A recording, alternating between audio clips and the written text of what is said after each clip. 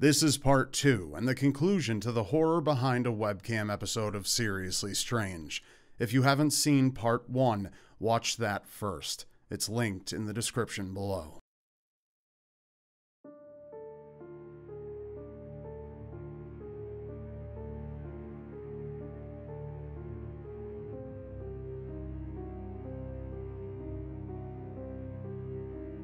While someone within the shadows of anonymity lurked, more and more people were lined up as targets.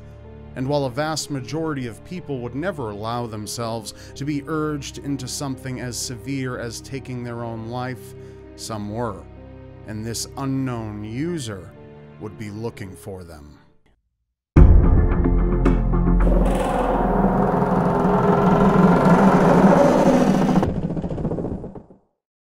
Before we move on to the episode, I'd like to thank this video's sponsor, Keeps.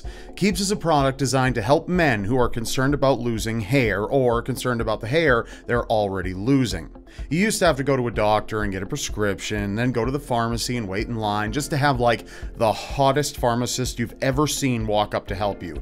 Now you gotta tell her what you're there to pick up and you whisper it to her, a bit embarrassed. She repeats it so loudly that it rivals a train whistle. People outside heard her. Your face turns beet red. She goes to get it and pokes her gorgeous head out from an aisle and says, That's for like hair loss, right? Now you're really embarrassed. Some 14 year old jackass is snickering somewhere behind you, so you run out, sobbing uncontrollably, and piss your pants for some reason totally unrelated to this scenario, and bam! You go bald anyway. Well, I'm here to tell you that with Keeps on your side, you could win the fight against baldness. Pissing yourself, however, is a totally different thing, so don't expect any help there from me. Thanks to Keeps, you can visit a doctor online and get medication delivered directly to your door every three months. Keeps helps you keep the hair you already have, while also helping you treat for the hair you've already lost. Two out of three dudes are going to experience some kind of male pattern baldness by the time they're 35. So, what's the best way to prevent this? To keep it from happening while you still have hair left. And Keeps has the scientifically proven treatments that could save your scalp.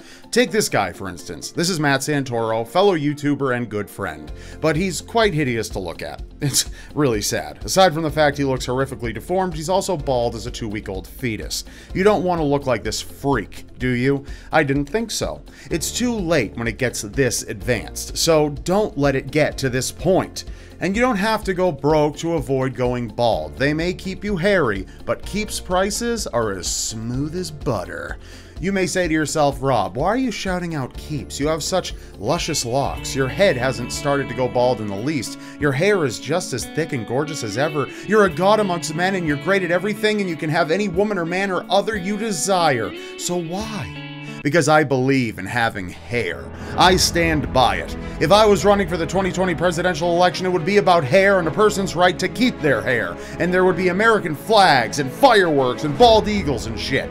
Well, with wigs on, because bald eagles is literally the opposite of what I'm trying to say here. So go to keeps.com slash Rob Gavagan, linked in the description below, and take action to prevent hair loss. Keeps can take up to four to six months or more to see results because beauty takes time, people.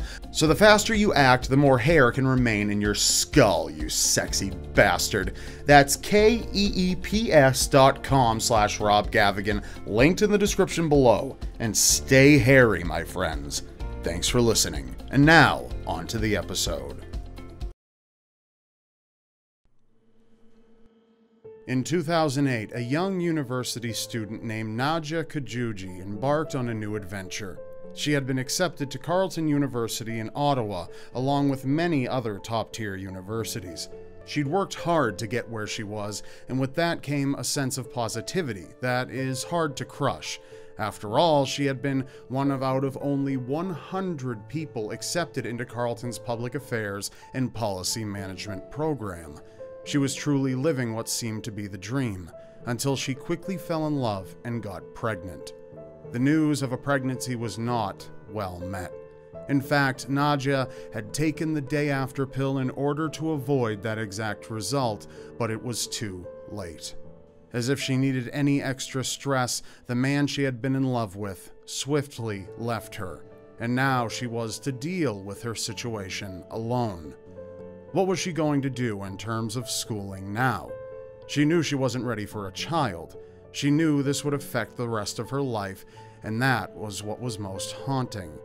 Whatever choice she made would be permanent and something she had to live with. These thoughts plagued Nadia's mind and pushed her into a deep depression as she felt as though she had problems with no solutions. The stress amounted to such an extreme that Nadia had a miscarriage. This tragic reality only worsened the depression she already felt as all choice had been taken from her. Nadia began to isolate herself from her peers, and as a star student, this was far from the norm for her. She struggled to attend her classes and naturally worried that she would not pass the semester. In an effort to work on herself and her issues, Nadia began seeing the university psychiatrist. However, on March 1, 2008, Nadia Kajouji posted on one of the websites asking for a suicide method that would make her death ideally look like an accident. Nadia promptly received a response from a user named Cami. Cami claimed to be suicidal as well, and as she had knowledge as a nurse, thought hanging would still be the best method. Cami and Nadia had a rather extensive back and forth, as Nadia was insistent on jumping off a bridge into a mostly frozen river. Nadia was concerned of failing an attempt and then remaining mangled or causing her family more trouble. This was an opportunity Cami made sure to jump on to reiterate the pros of hanging.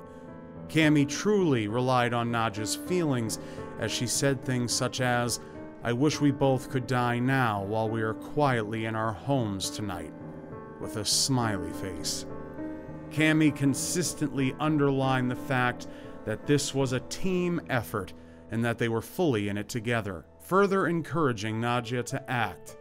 In fact, in their correspondence, Nadia stated, We are together in this, to which Cami replied, Yes, I promise.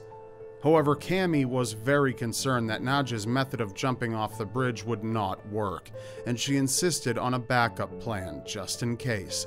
As always, hanging was the method of choice, the only infallible way to escape misery.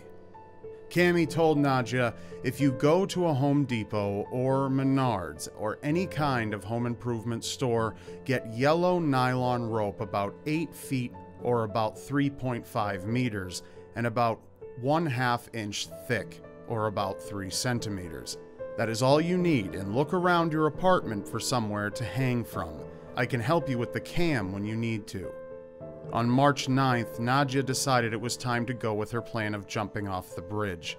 Before leaving to kill herself, she emailed a roommate and told her she was going ice skating.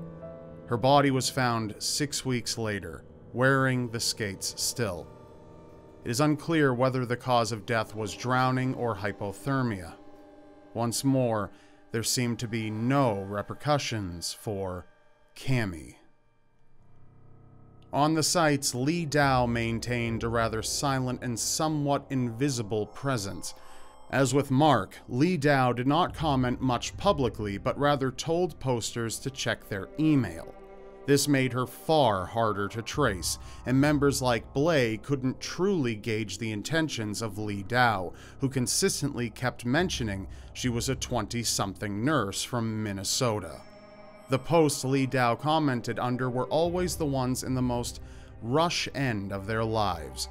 She specially aimed to find the most desperate and naive. For reasons unknown in 2006, Li Dao disappeared from the site. All those who corresponded with her came to the same morbid conclusion. She must have finally killed herself. Needless to say, many had formed a bond with Li Dao, seeing her as a friend or at least someone who cared for them in a genuine way. However, Li Dao did not stay away for long. Those who had been speaking with her had begun to speak to each other, and her stories did not line up. In private messages, Li Dao was still trying to convince some to kill themselves, and when others wanted to speak with her on the phone, there was always a reason why she couldn't. Something was not adding up, and her own supposed friends were beginning to get answers. This is when the users who interacted with her began to think she was getting high off the suicides of others, or that it at least provided somewhat of a thrill to be the cyber angel of death. The main recurring factor that outed Li Dao was that she continued to make suicide pacts, but somehow it was the other parties who suddenly became inactive or disappeared. She constantly re-emerged, Celia Blay continued to monitor the situation and tried to make as many people as possible aware of Li Dao and her strategies, but it was impossible to know how many emails or private messages were being sent and to whom. In fact, Celia Blay truly tried her very best to stop Li Dao from getting vulnerable people to kill themselves. She took all the evidence she'd gathered to the police and showed them the conversations that were ending lives. Unfortunately, the police did not take the matter as seriously as they should have. Nonetheless, Blay continued to monitor the ASH and alt.suicide methods. In fact, in 2007, Blay found herself a partner in tracing Li Dao, a 35 year old woman named Kat Lowe from Wolverhampton, England. Lowe was personally invested in outing Li Dao, as a friend of hers had almost committed suicide after entering into the now formulaic suicide pact with Li. Lowe decided to go undercover in order to extract as much information as possible in terms of who Li Dao really was and why they consistently encouraged suicide as well as instructed it. Lowe posted, emitting the vibe of someone who had had enough, or was close enough to the ledge that a slight nudge might suffice. In 2008, Lowe sent an email to a user named Falcon Girl. She asked for a good place to swing. Using the Falcon Girl account, someone named Cami D told Lowe about the best method to effectively hang oneself. Cami added, I think you said you have a webcam. That would help a lot too. In none of their exchange did Cami try to persuade Lowe to rethink her suicidal thoughts. In fact, it seemed as if she always were prepared to tell people how exactly to kill themselves. Cami consistently checked on Lowe to see if she was ready, however, her persistence gave her away. Cami signed off the same way Li Dao did by saying, hugs. At this point, Blay believed that this Li Dao character had convinced over 50 people to kill themselves. Lowe and Blay continued to monitor the situation, documenting everything they could find. Lowe continued to interact with Cami, and in what would turn out to be one of the biggest leads in the case, Cami told Lowe she knew of four people who hanged themselves. Upon further questioning, Lowe asked if Cami had seen anyone do it, and Cami replied, No, just one. He asked me to watch as he was all alone. I didn't want to think it was some perverted ploy of his, but after many hours of talking, I agreed and watched him die so he would not die alone. Lowe asked how old the man was. He was 32, just like Mark Drybrough. This was a massive development as now Cami and Li Dao were directly connected. Lowe and Blay continued to work in order to get Cami's trust. Lowe said she was ready to hang herself, but she needed help with what type of rope was needed. She insisted that Cami get a webcam so they could see and hear each other. That's when Lowe found out that Li Dao, Cami, and Falcon Girl were all the same person, and namely a man who definitely was not in his 20s. Lowe asked why he had pretended to be a woman, and he responded, mostly because if and only if there were any legal consequences for my helping anyone, they would come looking for a girl. Blay then took his information to another ASH user, Griffin, who had worked in telecommunications. Within days, Griffin connected Falcon Girls and Li Dao's emails to a server in Faribault, Minnesota. In their continued correspondence, Cami made a mistake that would cost them. The header of their email contained a name Bill Melchert-Dinkel. Through a wild moment of luck, Blay, while talking with a customer, found out they lived near Faribault and was friends with a deputy sheriff in Minneapolis. Unfortunately, Faribault ended up being outside of his jurisdiction and instead suggested to contact the Internet Crimes Against Children Task Force.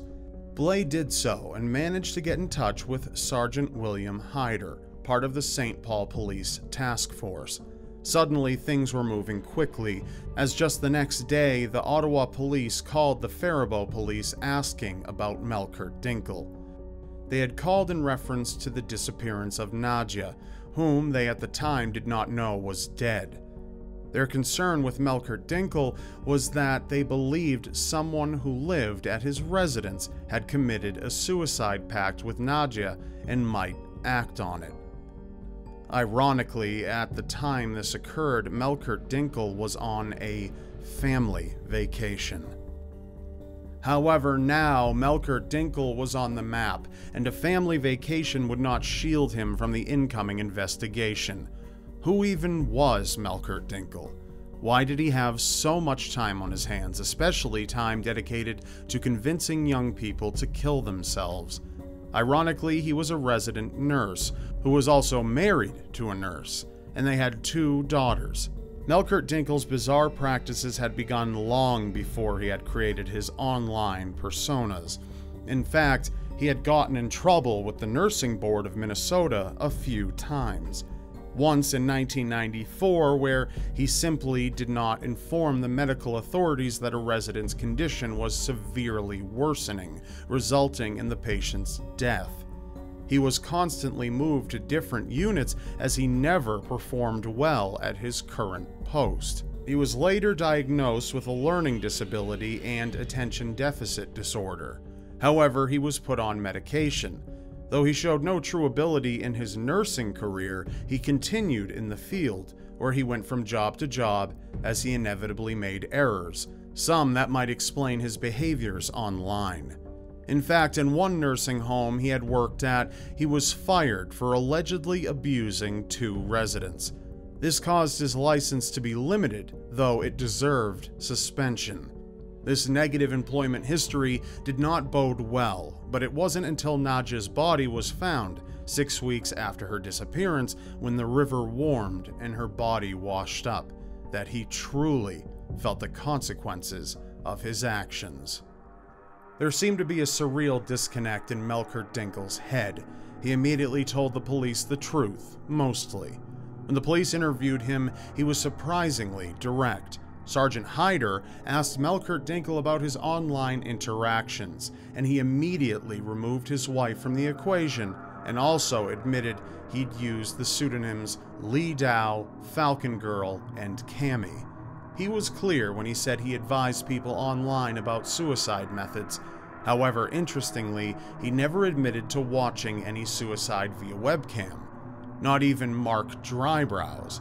The police, however, did find that he had made multiple suicide pacts, around a dozen, though he could only confirm of five that effectively did end up taking their lives. In an interesting juxtaposition, Melchert-Dinkel admitted that he enjoyed the thrill of the chase, but he also claimed to tell his victims that they'd be better off in heaven. Nonetheless, these two contrasting sentiments cannot exist simultaneously when one is an admission of a semi fetish for death. The pseudo benevolent nature of claiming his victims would be better in heaven seems like an easy line to say, but a hard one to back up. While morally this case is as open and shut as it can be, what does the law say? Is this a question of free speech and personal accountability? Can Nadia's death be truly connected to Melchert-Dinkel as she did not end up using his hanging strategy at the end after all. These questions plagued the families of Mark and Nadia, as for them and most others, Melchert-Dinkel was the drop that made the glass overflow. Had there been a Blay or a Lowe at the time, perhaps the discussions would have led to healthy solutions. Legally, the battles were messy, as might be expected in cases that involve not only free speech, but intention, as well as the internet. In 2011, Melchert-Dinkel was charged with advising, encouraging, or assisting Kajouji and Drybrough in killing themselves using internet correspondence. As the case was underway, he was ordered to stay offline. Additionally, Minnesota provides penalties for those who encourage or assist in suicide. The punishment can be up to over a decade in prison on top of a $30,000 fine. Melchert-Dinkel received a meager 360 days in jail, just under one year. However, in 2012, the Court of Appeals affirmed the conviction, which led to the Supreme Court's review of the case. In 2014, the Supreme Court reversed the conviction and remanded Apparently, Melchert-Dinkel's conviction was not entirely constitutional, as advising and encouraging suicide was protected by the First Amendment. However, speech that assisted suicide was not protected. In the end, Rice County District Judge Thomas Newville sentenced William Melchert-Dinkel to three years in prison, but suspended the sentence to 360 days in jail, along with the abiding by the terms of his probation for 10 years. Melchert-Dinkel was convicted of assisting the suicide of Mark Drybrough and attempting to assist the suicide of Nadia Kajouji. Melchert-Dinkel has said, quote, I am sorry for my actions and what I have done. I have repented. Even though he has been released from jail for five years now, his lawyer continues to appeal the conviction. This entire case is an accurate reflector of how everything on the internet is permanent, yet in some ways fleeting. If Mark had not crossed paths with Li Dao at that very moment, or if Nadia hadn't corresponded with Cami at that very time.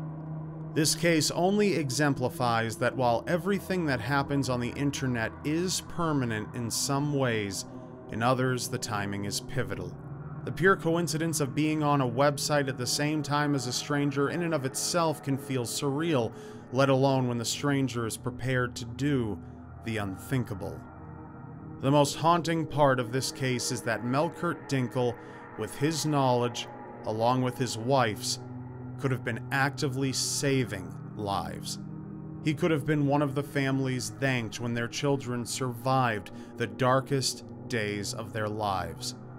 Yet he chose to be worse, a grim reaper who cannot even face his own actions.